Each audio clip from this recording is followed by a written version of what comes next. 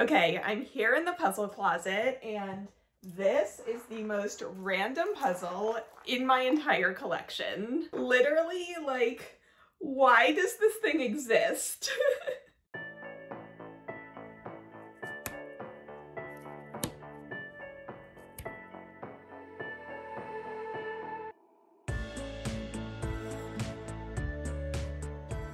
So this is a jigsaw puzzle of a 1040 tax return form.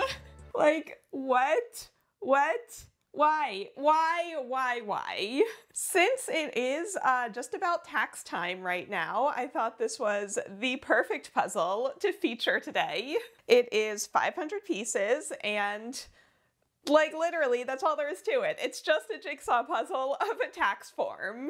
This was released in 1973 by Gameophiles. And I've talked about Gameophiles on here before. It's a company that I've been really wanting to do a deep dive into. And finally, today is the day.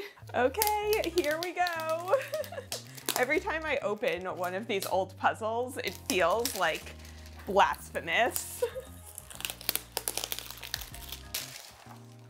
All right, I'm opening this box for the first time since 1973. Oh wow, the pieces aren't even in a bag. They're literally just in here. And now you can see the reason why I put down this backdrop. Uh, you can't exactly do a white puzzle on a white table. I had also been wondering if this red border was gonna be part of the puzzle, but uh, it looks like it's not. Oh, wow. Okay, there is a lot of vintage puzzle dust.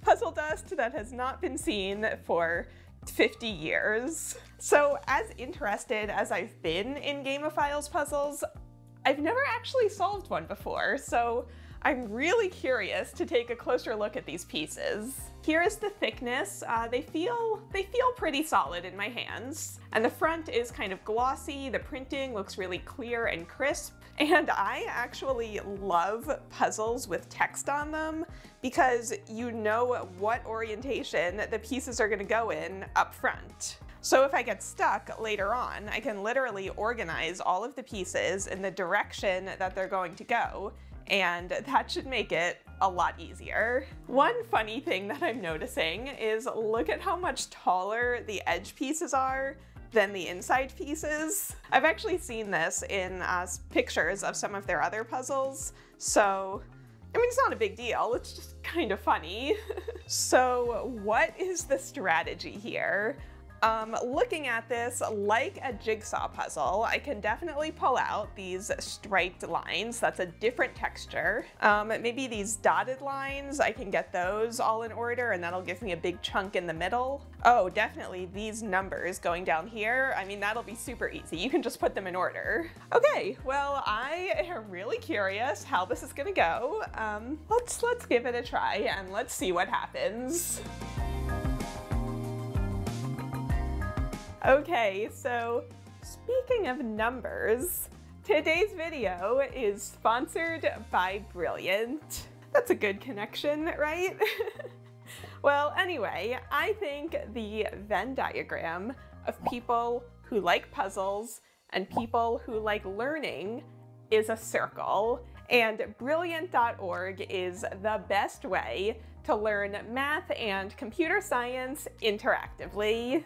I mean, maybe this puzzle will inspire some of you and you're like, tax forms are my calling. But you need to know math to be an accountant. But seriously, Brilliant has thousands of lessons from arithmetic and basic algebra all the way up to a course about supernovas and one about terraforming Mars. I just love how interactive it all is. Like, I can imagine your teacher coming up behind you and being like, Are you playing a game? And you're just like, No, I'm literally learning computer science right now. It's perfect both for students who need a little bit of extra help and anyone who just wants to learn something new on their own. Oh, and there is new content added every month. So you can try Brilliant for free for 30 days at brilliant.org slash Karen Puzzles. I'm also gonna have the link right down below and the first 200 of you who sign up will get 20% off Brilliant's annual premium subscription. But now let's get back to the puzzle.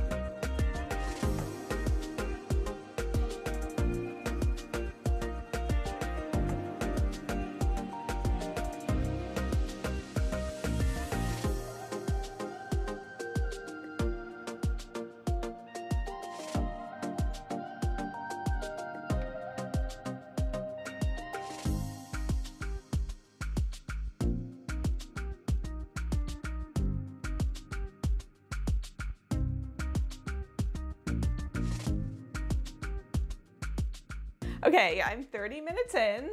So far, I'm actually having a great time. I realized as I started working on the edge that I really should have left this for last because it's just a lot of solid white pieces.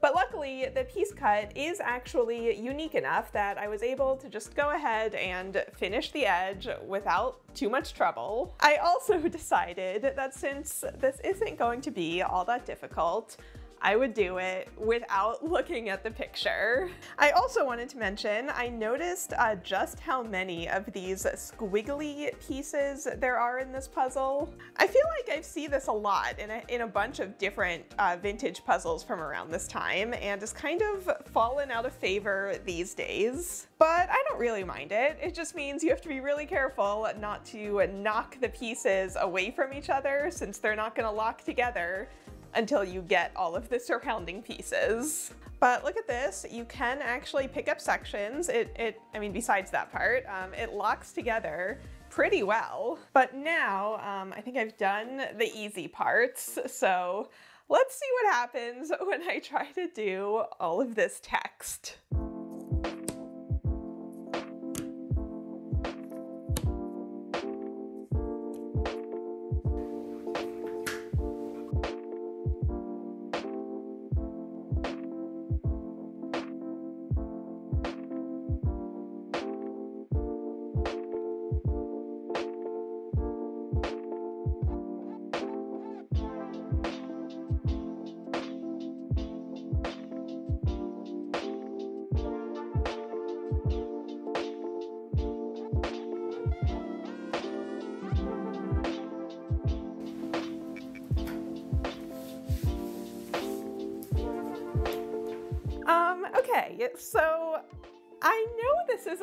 Weird puzzle, but I'm kind of loving it.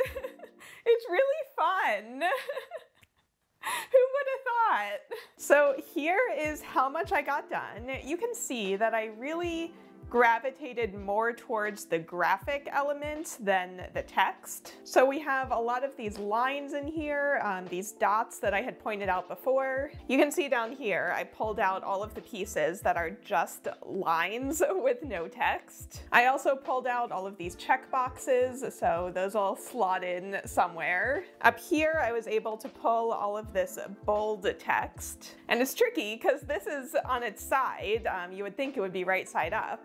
Up here, I was able to pull this bold line as well as this line with the dotted line on top of it. And then the next thing I was gonna look at is pieces with a little bit of this bold line right on the connector there.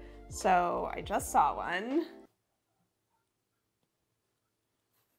Oh my god, where did it go? I just saw it. Oh, here's one. Okay, so you can see the bold line there and the text is the correct direction. So I think that'll fit maybe right. Nope, not that one. Maybe right. Nope, not that one. Maybe, yes, right there. Luckily, the piece shapes are pretty unique, so I've been able to use that along with the picture to put it together. So this is uh, surprisingly um, like a great puzzle. I am loving this.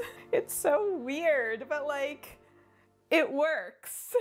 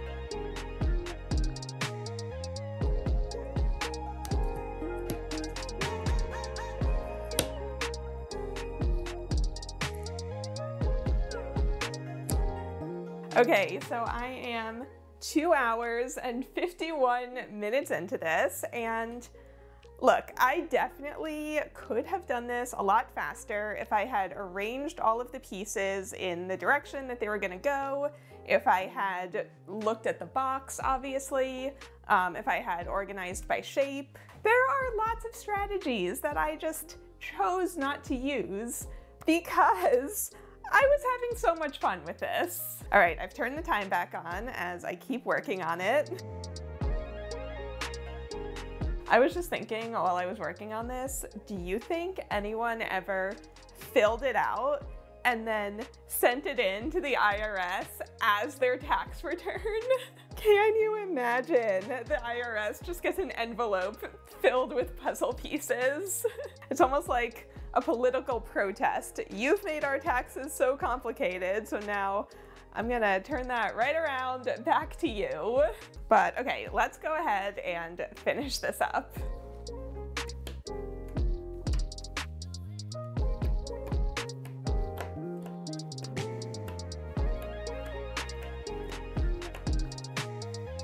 Oh man, three pieces left.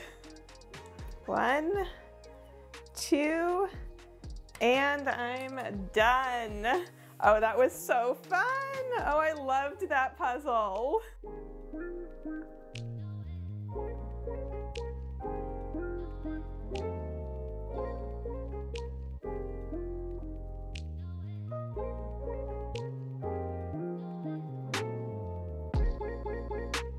And let's see. Yep, sure enough, I can pick up the entire thing. So that took me just under three hours, although again, I did not use a lot of the uh, techniques that I could have used to make it go faster. All right, I have so much to tell you about this company, so let's finally do the Gameophiles deep dive.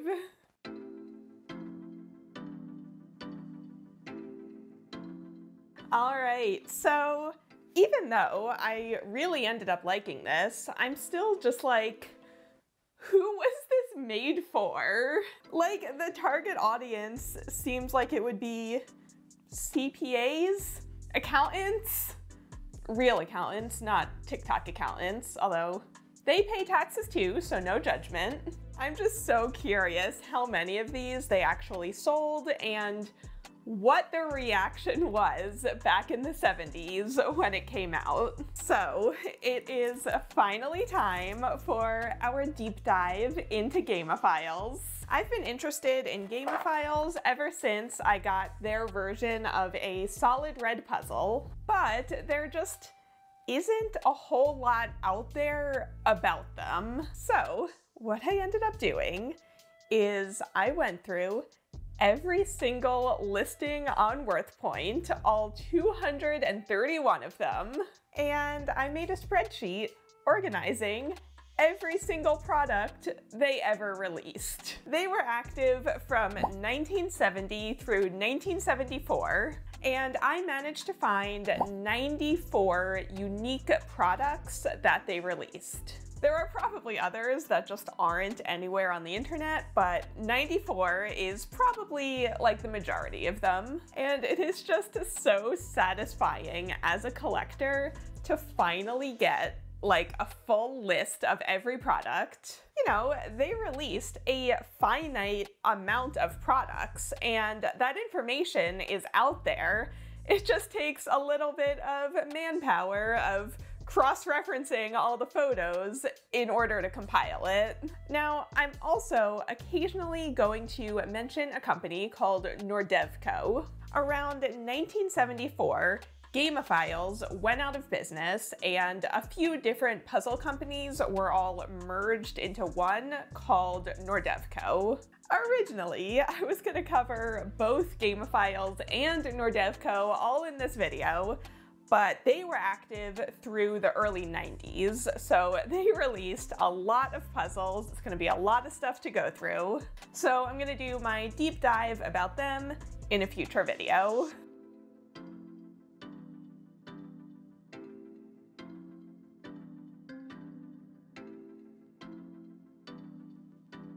Okay, so speaking of Nordevco, it's a good thing I liked this puzzle because they actually re-released it. Yes, there is a second version of the 1040 income tax form puzzle. So here are the two boxes next to each other. You can see they're uh, very similarly designed. However, this one is actually two-sided. So you don't just get one income tax form, uh, you get the back as well. Here's what the two sides of the boxes look like. And here are all of the pieces from the double-sided version. So sure enough, um, it's printed on the front and on the back. so I think if I do this one, I'll have to solve it from the back. Also, the printing on this one is different from the first one because you can see we don't have those really tall um, edge pieces anymore. And the new version is a little bit more cream or off-white, whereas the original is like a bright white. But I'm so excited to solve this one once I do my deep dive video about Nordevco. Okay, so in addition to the tax form, Gameophiles also released a handful of other kind of random household objects as jigsaw puzzles they released a calendar puzzle, which came with a felt marker so that you could fill in all of the numbers of the year that you're solving it in. Unfortunately, I saved this photo off of eBay ages ago, and I cannot find any other proof that this puzzle actually existed, so if anyone has one and wants to sell it to me or just send me more photos, uh, please get in touch. So there's also this Sunday Times of London crossword puzzle jigsaw puzzle. And this crossword puzzle is actually a cryptic crossword, which means that all of the clues have some kind of wordplay in them.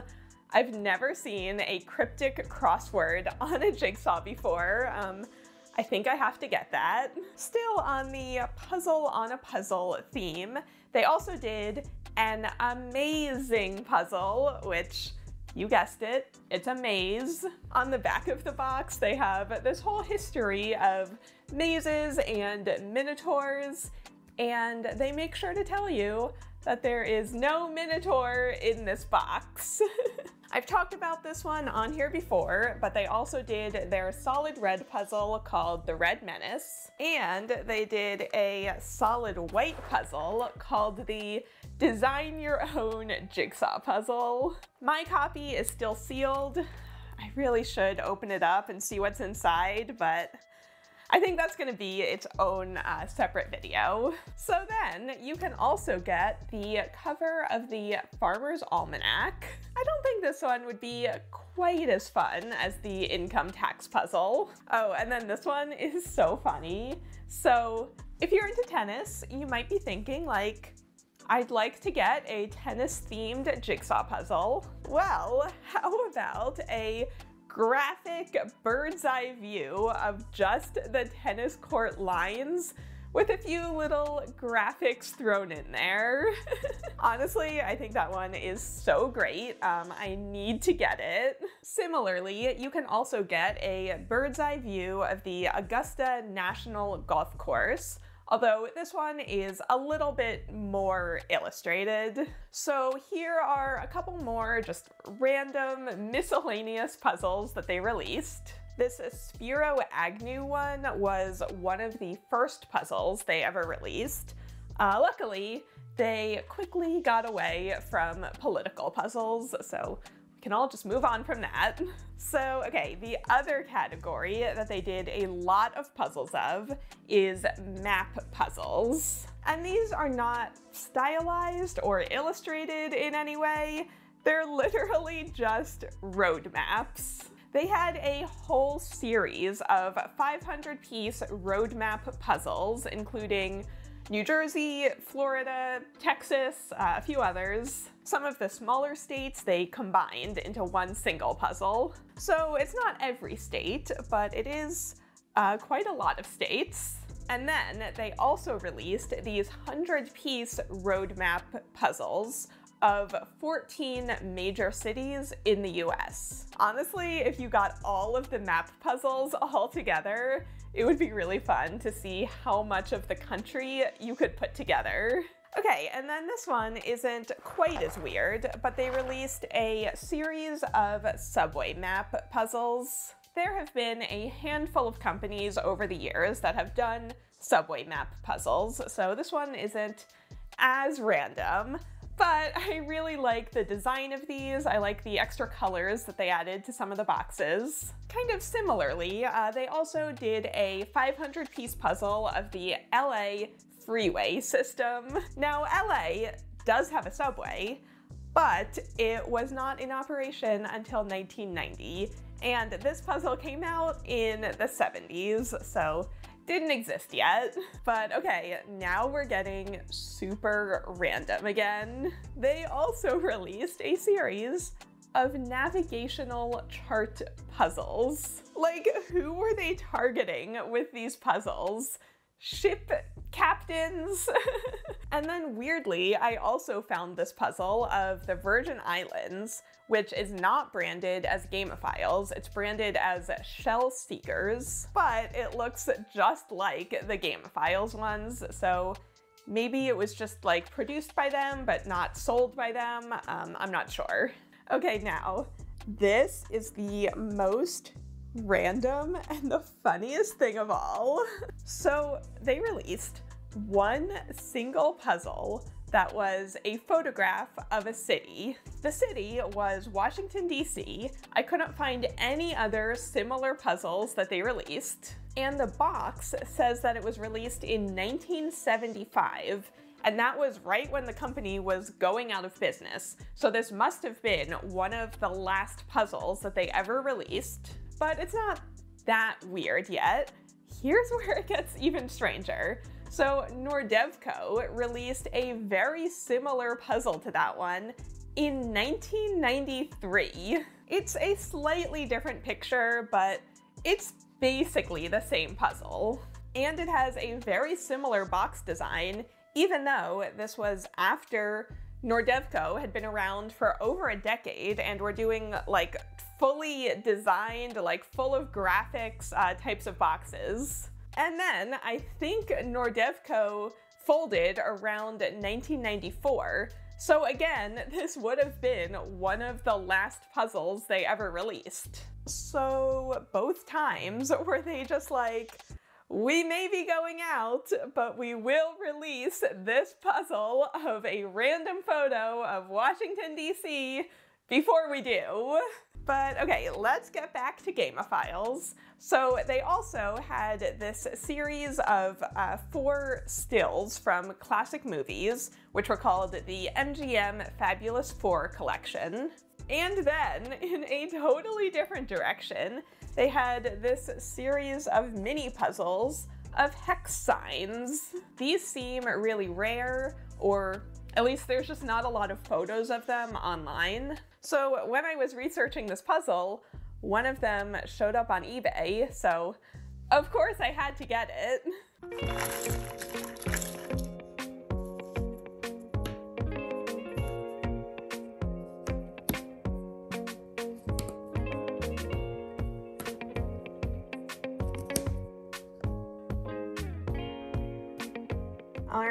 Here is the finished puzzle. Um, super cute, really vibrant colors.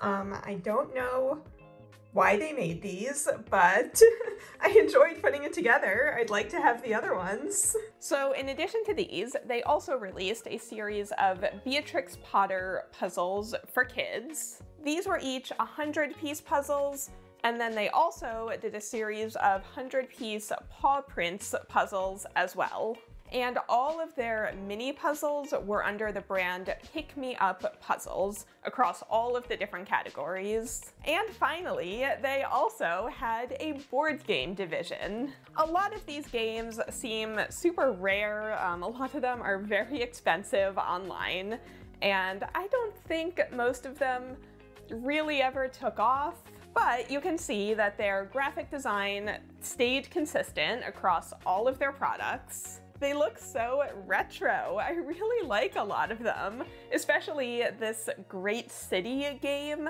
I think that board is really pretty. And this front page game, it looks sort of like Scrabble almost, except that you're building the front page of a newspaper. So, okay, that is everything that they released under the brand name Gameophiles. What a weird company. They did random household objects, road maps, hex signs, subway maps, navigational charts, kids illustrations, movies, board games, and that one picture of Washington, D.C.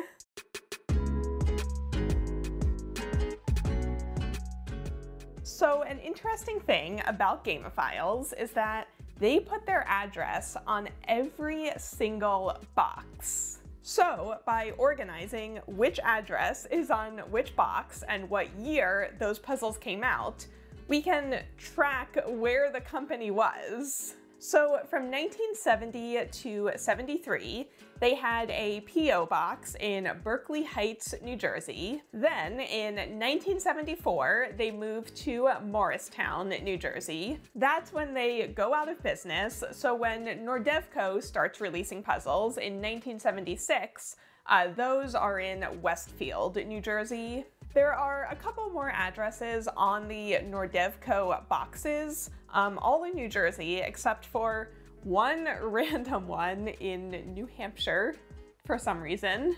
But I will cover all of that in my video about Nordevco.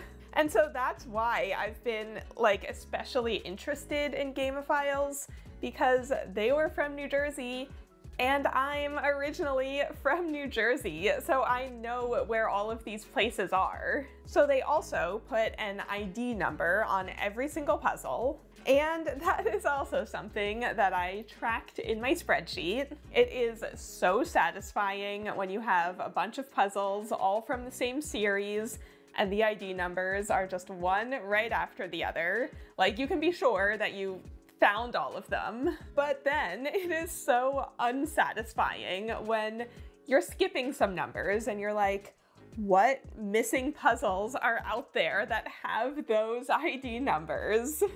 Where could they be? Whose basement are they in?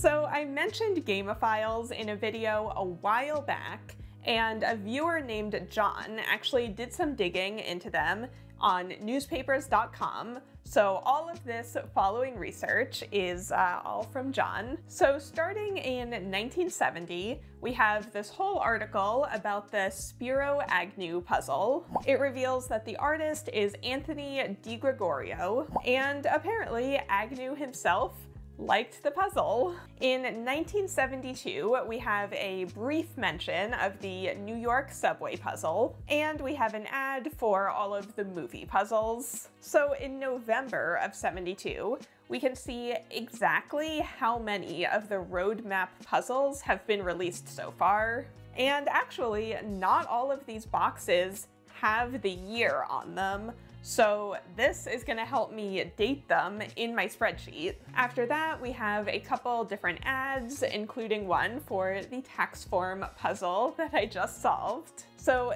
this ad I have featured before to look at the Lawson and Lawson puzzles.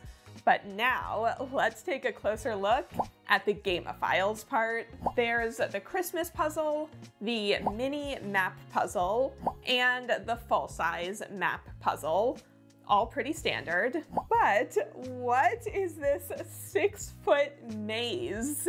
Apparently it's printed on plastic coated paper and it comes with a hanger to hang it up on the wall. It's not the maze that I talked about earlier because that one was definitely a 500 piece jigsaw puzzle. So if anyone had this or has any real photos of it, uh, please let me know. Next, we have another ad with a bunch of products, and most of them were already in my spreadsheet. So you can pause here if you want to read how they were advertised back in the day. But there were actually two products on there that I hadn't discovered yet. There's a game called Coloration, and once I knew what to search for, I found all of these photos on BoardGameGeek.com, but it wasn't tagged as Gameophiles, so that's why it didn't show up earlier. But it's really pretty. I mean, I'd love to play this someday. And then there's a jigsaw puzzle called the United States Zip Code Map, which is another kind of utility puzzle. it is just a zip code directory fun and useful. but I couldn't find any actual photos of that puzzle, so if you have one, please get in touch. Next is a review of their board game, The Chicagoan. Um, again, you can pause to read the entire thing. Apparently, it is in the rules that one player is the assessor, basically the banker from Monopoly, but they are encouraged to steal from the bank and they stay on as assessor until another player catches them stealing. There's also a lot of what seem to be like inside information about Chicago in the 1970s.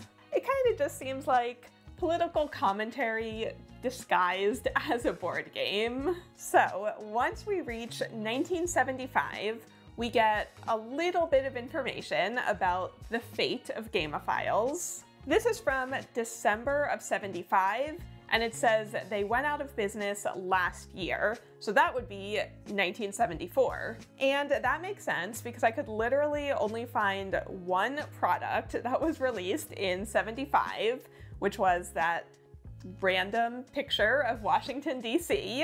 In 1976, all of the puzzles are being labeled with Norton and Williams, and that continues until 1981 when they have fully transitioned just to Nordevco. Now, at the beginning of Nordevco's run, a lot of their puzzles looked just like Gameophiles, like the same layout, the same just kind of random pictures of household objects. They even released even more map puzzles all the way into the 90s. But back to Gameophiles, we have one more little snippet from 1976. So this is a notice of settlement. It says something about an audit. I'll be honest, I don't really know what this means. but either way, like it doesn't really give any information about the company itself. And that's about all I've got on Gameophiles.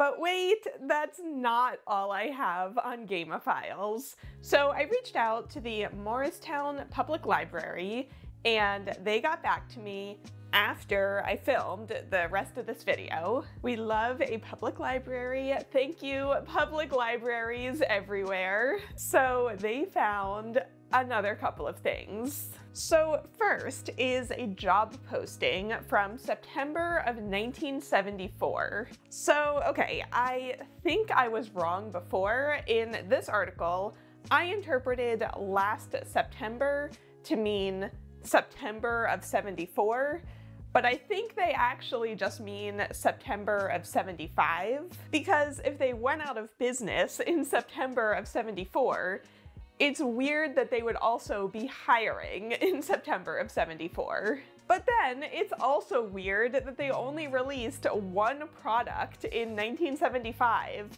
if they were still in business for most of that year. Okay, so then there's this ad from March of 1975 of this department store that's having all kinds of different events, including creative puzzle making with Gameophiles. So again, that's another piece of evidence that they went out of business in 75, not 74. But looking at this ad, I'm also just kind of like, what was this event? Like, did they just have a whole bunch of these there for people to draw all over?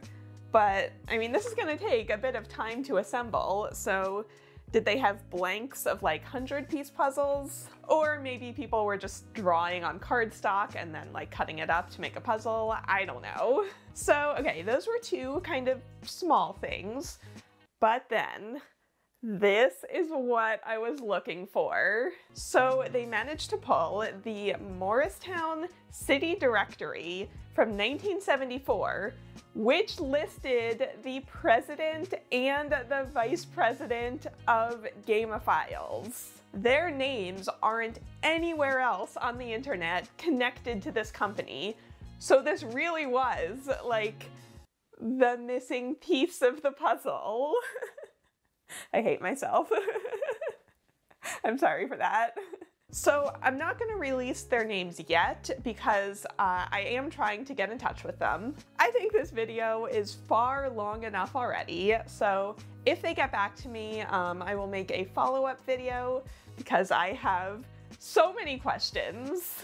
So, okay, what do you guys think? Did you have any of the puzzles that I mentioned? Would you want to try the income tax puzzle?